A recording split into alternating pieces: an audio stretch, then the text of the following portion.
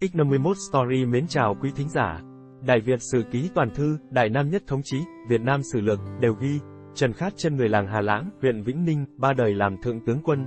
Ông là hậu duệ của Bảo Vương Trần Bình Trọng với câu nói bất hủ, ta thà làm quỷ nước Nam chứ không thèm làm vương đất Bắc. Tuy nhiên, một số chi tiết về năm sinh, gia thế của ông, nhiều tư liệu lịch sử ghi chép khác nhau.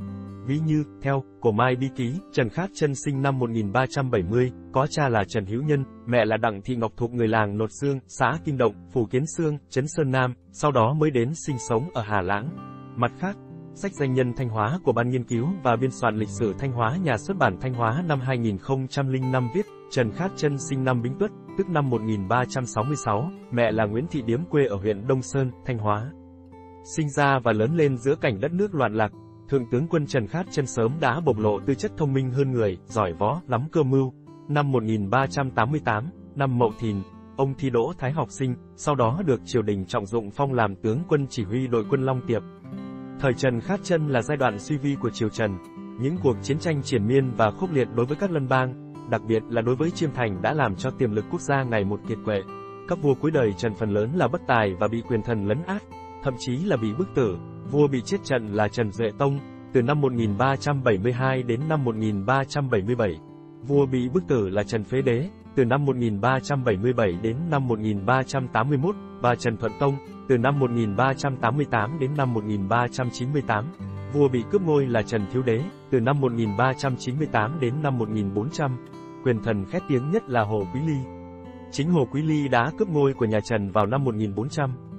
Bấy giờ, Chiêm Thành đang lúc hưng thịnh, vua Chiêm Thành là chế bồng Nga nhiều phen đem quân ra cướp phá nước ta, có lúc chúng đã thiêu trụi cả kinh thành Thăng Long, buộc vua tôi nhà Trần phải bỏ chạy tán loạn. Nhà Trần đã sai hầu hết các tướng, dốc hết lực lượng ra để chống trả nhưng không sao đánh bại được quân Chiêm Thành. Bấy giờ, hệ tướng nào bị sai ra trận cũng kể như hết hy vọng sống sót trở về. Tình thế rất thê thảm. Năm kỷ tỵ tức năm 1389, quân Chiêm do đích thân chế bổng Nga cầm đầu lại tiến ra, Thượng hoàng nhà Trần là Trần Nghệ Tông sai Trần Khát chân cầm quân đi đánh trả. Sử cũ có đoạn chép, tháng 11 năm kỷ tỵ tức năm 1389, Thượng hoàng sai Trần Khát chân chỉ huy quân Long Tiệp đi đánh giặc. Trần Khát chân vâng mệnh, khẳng khái nhỏ nước mắt, lại tạ rồi ra đi. Thượng hoàng cũng khóc tiễn đưa, quân ta xuất phát từ sông Lô, khi mới đến Hoàng Giang đã gặp giặc. Trần Khát chân quan sát, thấy địa hình nơi đó khó lòng tổ chức đánh trả, bèn lui về giữ sông Hải Triều. Em trai của Linh Đức là Trần Nguyên Diệu muốn báo thù cho Linh Đức, vì Linh Đức bị Hồ Quý Ly xúi dục Thượng Hoàng Trần Nghệ Tông bức tử, liền đem quân đi đầu hàng giặc. Bấy giờ, chế bồng Nga cùng với Trần Nguyên Diệu dẫn hơn 100 chiến thuyền đến dò xét cách bài binh bố trận của quân ta, chiến thuyền giặc chưa kịp ổn định hàng ngũ, thì có tên về tôi nhỏ của chế bồng Nga là Ba Lậu Kê, vì bị chế bồng Nga trách phạt, sợ bị giết đá chạy sang chạy quân của ta, chỉ vào chiến thuyền sơn màu xanh, nói rằng đó là thuyền của vua nước hắn, Trần Khát Chân liền hạ lệnh cho quân sĩ, nhất tề nhà đạn, thuyền của chế bồng Nga bị lủng ván và chế bồng Nga trúng đạn mà chết, người trong thuyền kêu khóc ầm ĩ cả lên. Trần Nguyên Diệu vội cắt đầu của chế bồng Nga chạy về với quan quân, nhưng tướng giữ trước đại đội phó thượng đô ở Long Tiệp là Phạm Nhữ Lạc và viên đầu mũ là Dương Ngang liền giết luôn cả Trần Nguyên Diệu, chiếm lấy đầu của chế bồng Nga, quân giặc liền tan vỡ. Trần Khát chân liền sai viên giám quân là Lê Khắc Khiêm bỏ đầu giặc vào hòm, chạy thuyền gấp về hành tại của Thượng Hoàng ở Bình Than để báo tin thắng trận. Bây giờ, đồng hồ đã điểm canh ba, Thượng Hoàng đang ngủ say, giật mình tỉnh giấc, cứ ngỡ là quân giặc đã đánh vào đến tận ngự doanh. Đến khi nghe tin thắng trận, lại lấy được cả đầu của chế bổng Nga thì rất là vui mừng. Thượng Hoàng liền cho gọi các quan đến để xem cho kỹ. Các quan mặc triều phục, đến và hô, vạn tuế. Sau đó, Thượng Hoàng nói, ta với chế bổng Nga cầm cự nhau đã lâu nhưng mà nay mới thấy mặt nhau. Việc này nào có khác gì chuyện Hán cao tổ thấy đầu hàng võ. Thiên hạ yên rồi. Sau khi lập được công lớn này, Trần Khát Chân được phong làm Long Tiệp Phụng Thần nội vệ thượng tướng quân, tước vũ tiết quan nội hầu.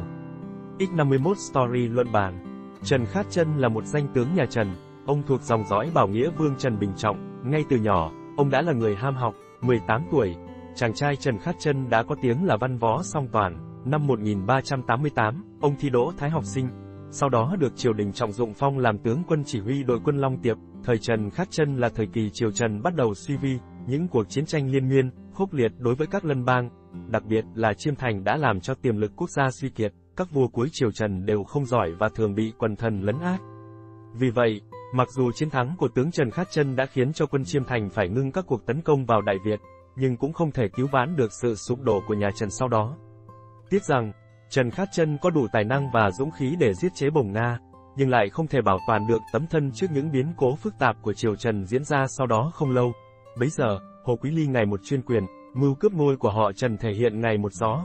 Trần Khát Chân cùng một loạt tướng lĩnh và quan lại lập mưu để giết Hồ Quý Ly khi Hồ Quý Ly vào dự hội thề tại Đốn Sơn, Thanh Hóa.